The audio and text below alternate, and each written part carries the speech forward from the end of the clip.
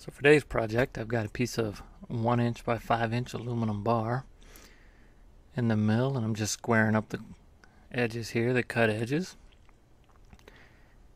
And then we're going to rough out a pocket in the middle here to get rid of the majority of the material that has to be taken out.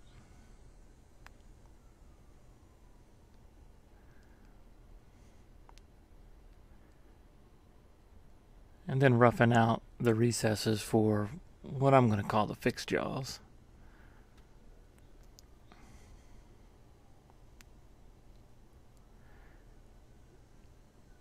And then a finish pass on everything.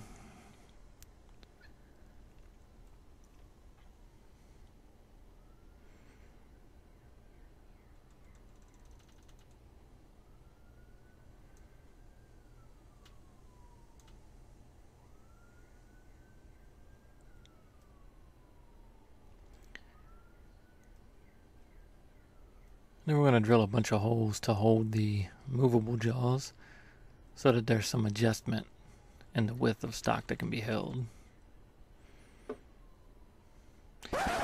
Oops, I uh, countersunk that one a little too deep.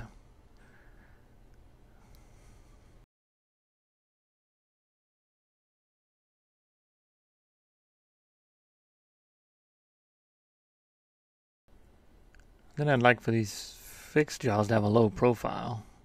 So I'm putting a bevel on the edge there. Almost make it like a toe clamp of sorts.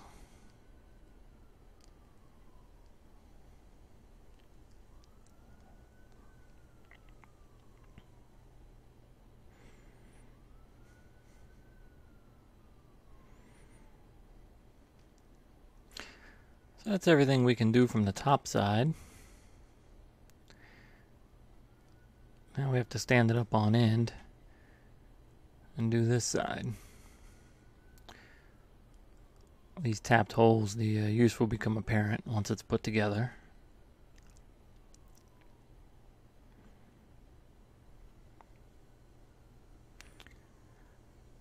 So that's the main body done. But now we need some movable jaws.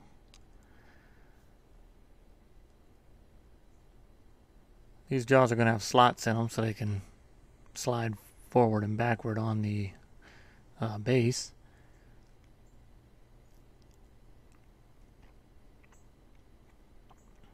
And I wanted to chamfer all the edges before I broke them apart. So that's why I'm partially cutting the perimeter here.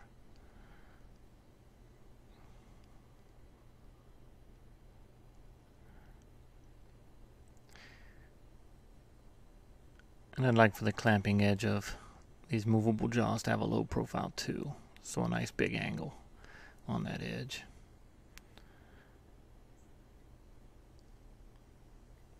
Now to break these apart, I made up a small fixture plate, just big enough to do two at a time.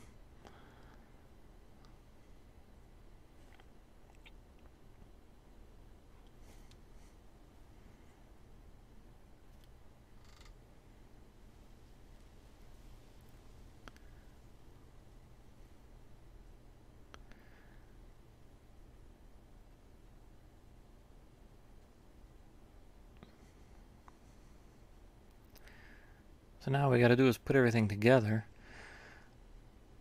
So to hold the movable jaws down, I've got the hardware obviously, and a rubber washer sandwiched in between two hard metal washers to provide some resistance. So it's not all the way tight, but it's tight enough that it uh, will hold. And while I'm doing this, the the whole reason for this contraption, as opposed to just using some soft jaws, is I have soft jaws in my machine that I use on a daily basis to make some very specific parts. And those jaws were cut on the machine. So if I take those jaws off to replace them with something to cut a small part that I almost never make, when I put those back on, they may not be exactly aligned. So for the for the effort of making this small fixture plate or multi-vise, whatever you want to it's worth it to me not to fool around with taking the soft jaws on and off and trying to get them back exactly where they go. So here you can see a part that I was working on. Uh, I've made nice long cuts in a long piece here. I could have did these individually, but it was just easier to machine as one long strip. And then we'll cut them into pieces at the correct length. And that's mainly the whole purpose for this.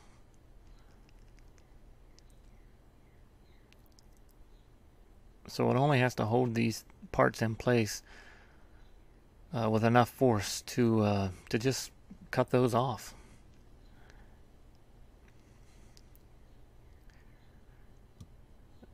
So what I'm using here, it is a 3 16 end mill, and I'm not taking very deep of a cut. I want to say it was um, 6 thousandths. And uh, none of the parts appeared to move. It didn't seem to be any play or anything. I imagine you go a little crazier with the depth of cut or the speed or a big honking end mill, you'd probably have a little trouble. But for these little parts, it worked out just fine.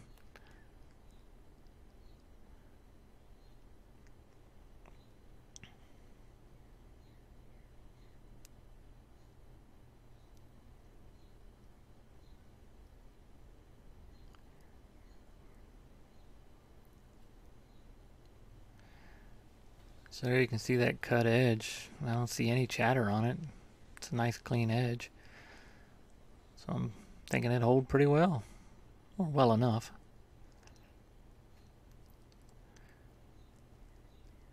Well, that's it. Thanks for watching.